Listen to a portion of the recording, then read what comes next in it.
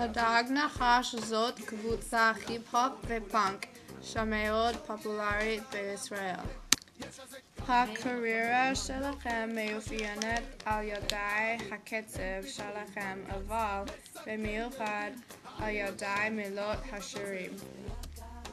הדג נחש שנמצאת בראש טבלת המוזיקה הישראלית בשאנן סטרייט. הזמר המוביל מוצאים את ההשראה שלכם מסנופ דוג, אבל המוזיקה שלכם מתמקדת בפוליטיקה הישראלית. קבוצת הדג נחש מתארים את עצמם כמיינסטרים.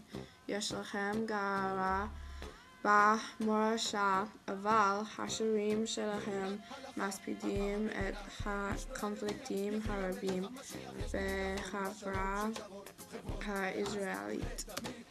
שפה היא שלט גדול בזהות לאומית, ובמיוחד בשפה העברית שהיא לא מדוברת מחוץ לכיתה שלנו לעברית הייתה הזדמנות להכניס לתוך החברה הישראלית דרך המילים שבשירים של הדג נחש.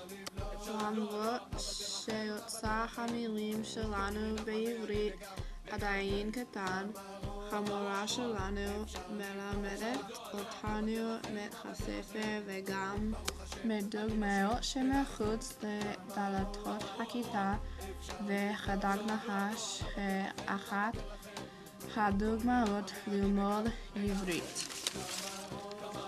למדנו את שיר הסטיקר ומשמעותו, ודרכו למדנו על החברה הישראלית. בכיתה למדנו כך המילים וכשהדג נחש בעלו לחופרה יכולנו לשיר איתם.